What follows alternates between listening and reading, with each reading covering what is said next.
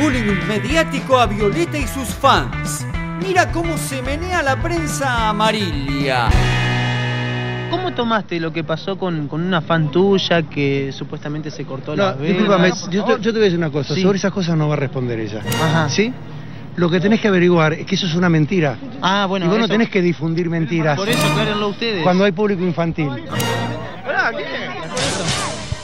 Solamente lo puedes mentir por eso. No, sos un desubicado. ¿Pero por qué? hacer la pregunta si es un desubicado? ¿Por qué soy Estamos preguntando para saber nada más. Tenés que pensar en el público infantil. Pero por eso, por ahora. Pero por eso, porque no- un desubicado.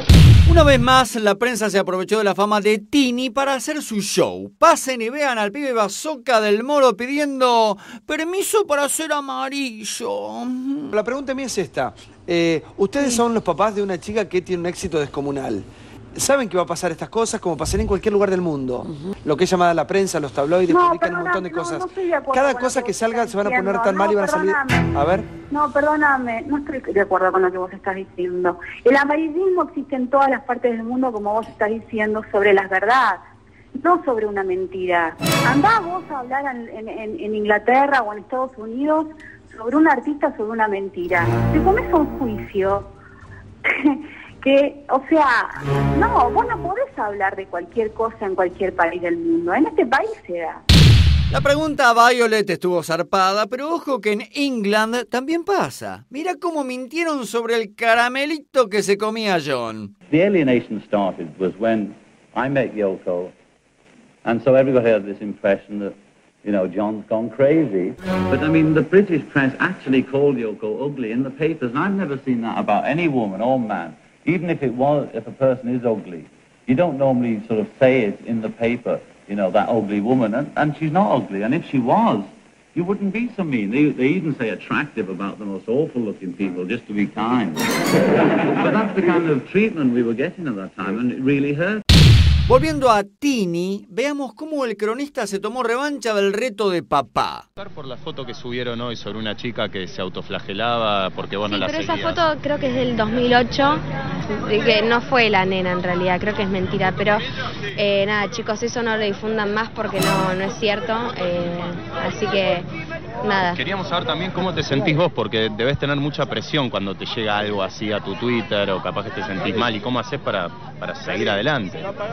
No, yo creo que nada, prefiero no hablar mucho de ese tema, estoy muy contenta con las fans que me acompañan y que me siguen y ¿Qué, qué quieren que Martina responda? Ok, se comprobó que era mentira, pero para comprender la intensidad del mundo de los fans, relajemos con una...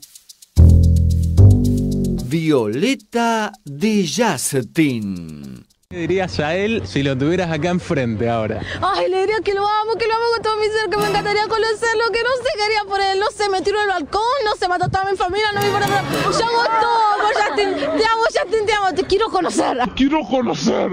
Retomando con el impacto mediático que provoca el desprendimiento pop de Alcides, recordemos que hace poco la prensa ya había probado suerte con otra amarilleada. ¿Cómo está Tini? Excelente. O sea, de salud, bien. No te puedo decir lo mismo en el aspecto emocional y psíquico porque hay cosas que no se dimensionan cuando se escribe una noticia con una mentira flagrante.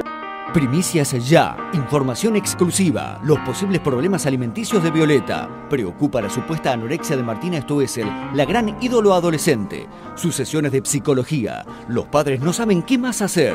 Debería dejar los shows por un tiempo. Los detalles.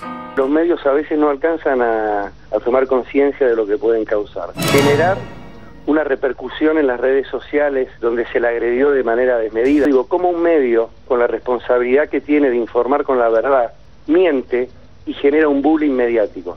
Cualquier adolescente, cualquier papá lo sabe, tiene que explicarle que la, la prensa miente.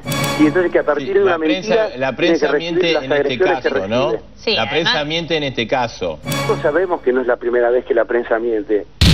Atención, he aquí un razonamiento que justificaría preguntarle cualquier cosa, y la palabra clave es... Cintura. intercambiando opiniones y decíamos que tu hija tiene una cintura mediática tan grande, tu hija tiene una cintura mediática tan grande, es una chica tan educada y que sabe manejarse ante los medios, que a lo mejor fue un poco eh, desmedida la reacción de tu marido. ¿Cómo tomaste lo que pasó con, con una fan tuya que supuestamente se cortó No, la venas? yo te, yo te voy a decir una cosa, Sí. sobre esas cosas no va a responder ella. Ajá. ¿Sí? Lo que tenés que averiguar es que eso es una mentira. No, bueno, no sé, qué sé yo, eso es un pensamiento que tienen ustedes. Eh, Alejandro reaccionó hacia, él sintió que, que con la pregunta que hacía este, este- esta persona eh, agredía a Martina de alguna manera, porque es algo que ya se había desmentido.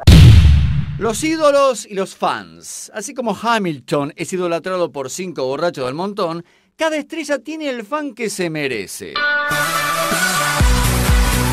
Y sí, sí, sí, sí, sí, volvió. Este es el ranking de los fans que hicieron historia. Pupupuesto número 3. De última, Lady Gaga no es tan buena. Nunca te tú mismo, nunca te arrastres, sé tú mismo, nunca te arrastres, sé tú mismo, nunca te arrastres.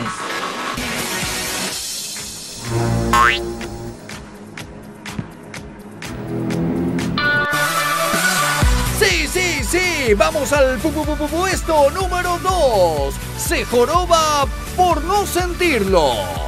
Ella se le traspapeló la tarjeta, se olvidó de mandármela, pero yo, eh, yo sé que estoy invitado porque me lo dijo. Yo no puedo creer que, que eh, siendo yo una figura conocida eh, del medio del espectáculo... Yo no puedo creer que, que siendo yo una figura conocida eh, del medio del espectáculo, estuve, eh, hice picos en Showmatch, no me conozcan y no me hagan pasar. Yo no puedo creer esto. Ay, pero Y en el podio, pu- pu- pu- pu- pu- pu- pu- puesto número 1. Soplándole la nuca, Justin. Vamos a ver si podemos tratar de hablar con alguna de las chicas para que nos cuenten cómo es esto de ser fan de Justin. Soy believer desde de 2012, lo amo con toda mi vida,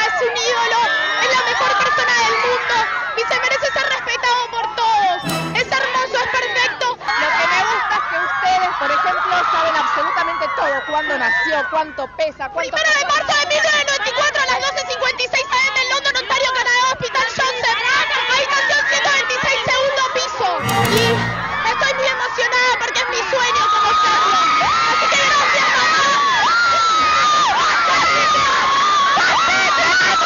Bueno, se acabó el diálogo. ¡Durísimo!